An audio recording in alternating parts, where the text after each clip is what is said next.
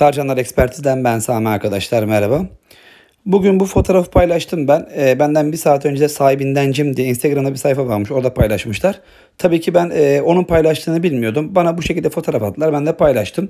Ama isim silmedim. Bana atılan resimlerde aynı şekilde Tarcanlar yazdım ve bu şekilde paylaştım. Sahibindencim diye bir arkadaş beni suçladı. Sayfamdan alıp attı diye. Ben de şimdi size ispat etmek istiyorum. Bakın resimleri göstereyim size. Atılan resimler. Atılan resimler aynı bu şekildeydi. Bakın görüyor musunuz? Ben hiçbir şekilde silmedim. Birazdan kim attıysa onu da paylaşacağım.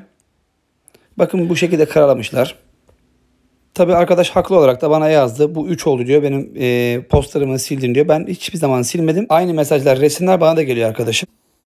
Al bana gelen resimler. Burada göndermiş arkadaş. Altına da yazmış. Sami abi seni seviyoruz sen de paylaş diye. Bak görünüyor orada. Sayfa sahibi diyor ki bu 3 oldu diyor. Bakalım 3 mü olmuş 4 mü olmuş bir göreceğiz bakalım ne olmuş.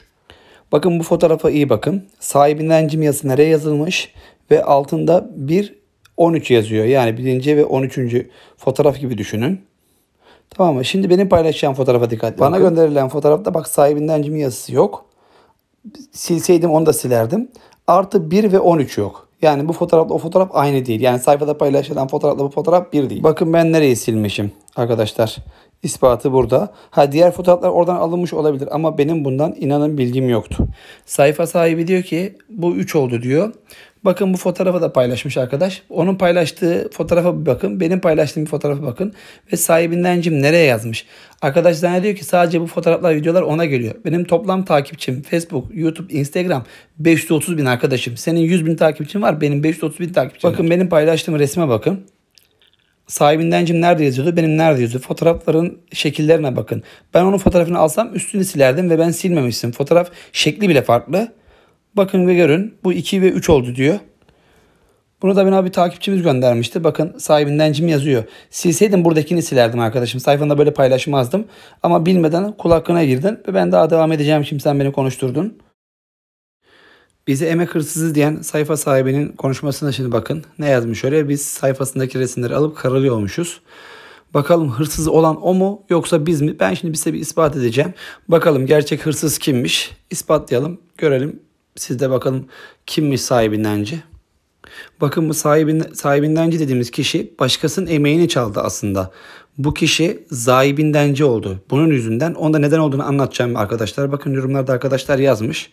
Ve ben bu şahsı çok iyi tanıyorum. Bize sahibindenci mizahını tanıtan ilk arkadaşımız budur. Sayfası engel aldı. Engellendi. Sonradan bu arkadaşımızın bütün 100 postunu şu anki sahibinden çaldı. Birazdan onda da ispat edeceğim ben size. Bakın yazışmaları okuyun arkadaşlar.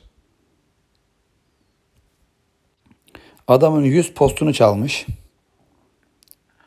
Birazdan daha gelecek arkadaşlar kanıtlar. 68.800'deymiş takipçi sayısı. Mesajdaki dediği gibi arkadaşın. Bakın diğer bir kanıt daha. YouTube'da açmıştı arkadaş. Tarihe bakın arkadaşlar. Asıl sayfanın sahibinin ekşi sözlükteki yeri arkadaşlar. Tarihe bakın arkadaşlar. Bu da bir ispat. Bakın bana bir takipçimizin attığı mesaj. Bunu okuyun arkadaşlar. Neler yazmış bir okuyun. Uzun tutuyorum çünkü mesajı.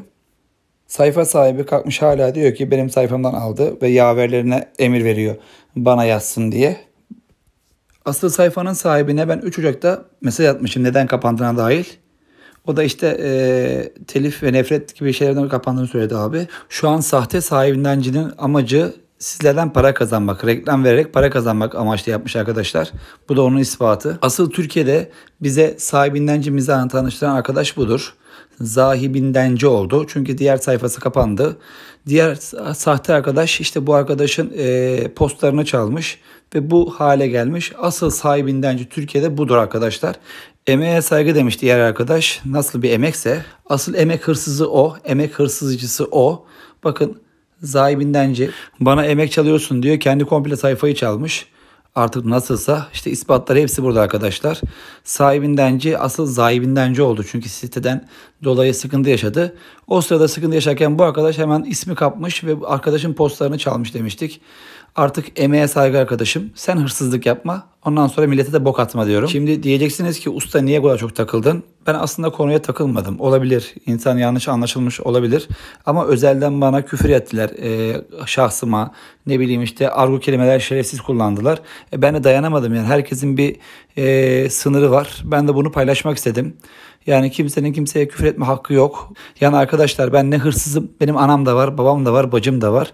Bana böyle küfürler yazdılar ben de delirdim. Yani hırsız olan onlar ama hırsızlıkla suçlanan benim. Dedim ki ona özellikle mesaj yazdım. Bana özel olarak mesaj attılar. Ben silmedim. Zaten silmek gibi ihtiyacım yok. Sayfa sahibi zannediyor ki sadece mesajlar, resimler sadece ona geliyor. Arkadaşım bana da atıyorlar. Ben belki geç paylaşıyorum, belki erken paylaşıyorum bilmiyorum ama ben seni takip etmiyorum. Sana atılan mesajın resmin aynısı bana da atılıyordur. O yüzden diyorsun ki sen benim resimlerimi paylaştın. Ya kardeşim nereden biliyorsun? Bana gönderin ben seni gönder nereden bileyim? Yok bana işte etiket et. Sen hayır neyin derdindesin? Al emek hırsızısın. Adamın sayfasını çalmışsın. İspatı burada. Hadi bakalım hayırlısı olsun diyorum.